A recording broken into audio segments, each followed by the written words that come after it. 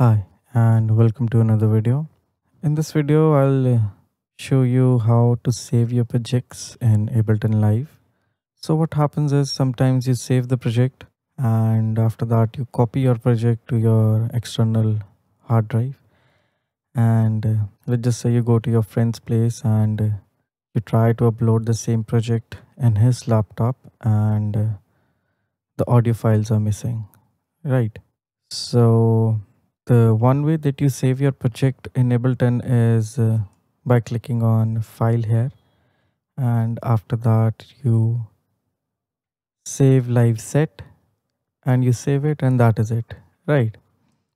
So what happens is you copy that project as I told you to your hard disk and let's just say you go to some studio right? When you copy that same project to another laptop and you open it the audio files are missing. I'll just show you how to save your project so that you don't have to face the same thing of missing files. So let's just start the video. As i told you there is one way that we save our project is by you know save live set or save live set as. And another thing that you can do is for example i'll just create a new folder here and let's just say i'll call it 123 okay so I have a folder here. Okay, so first of all, what you have to do is you have to go on files and then you click on save live set as. And now what I'll do is I'll go to desktop and I'll just save it.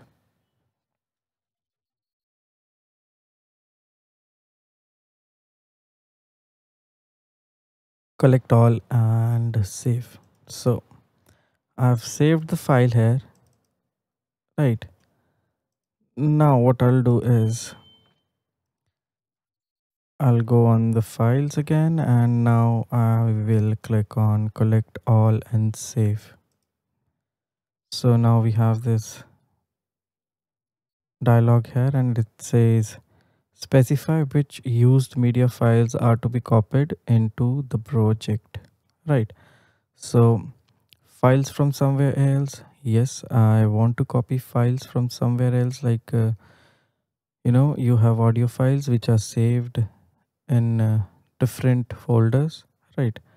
And then uh, files from other projects let's just say you have copied audio files from another projects.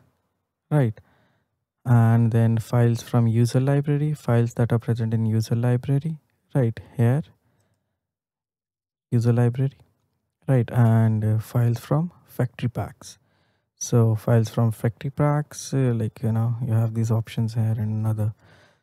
So basically it's better to say yes to all so that you don't miss out on anything. All right.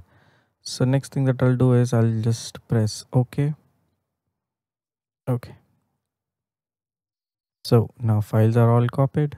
Then uh, i will again go on files here.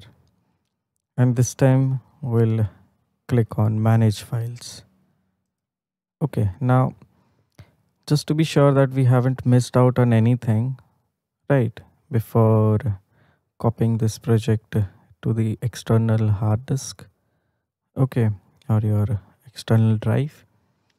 So I'll click on this manage project. And now let's see. It says this project contains 34.5 MB of data. And then blah blah blah blah 74 media files zero defects. And then we have this option missing files. So now it says one file used by this project is missing and that is this audio file right? So now i'll show you how you can locate this file and save the project so that you don't miss out on anything. So i'll click on locate here right? So first of all you have this option automatic search. And if you'll press go on it so 99% of the time ableton automatically searches the missing file for you right and it's 99% correct. And let's just say if 1% it's not you can you know search it manually on which folder this file is or you know you have loaded some sample from another folder and ableton is not able to locate it. So you can do it manually.